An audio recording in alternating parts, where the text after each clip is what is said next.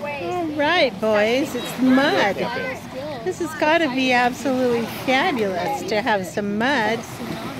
Josh, Joshua, are you liking that mud? How about you, Sammy? You liking the mud? Unless I get it. Jackson, Jacob, how you liking that mud over there? I was, I was gonna be really offended if you didn't do this. So entitled to sunscreen.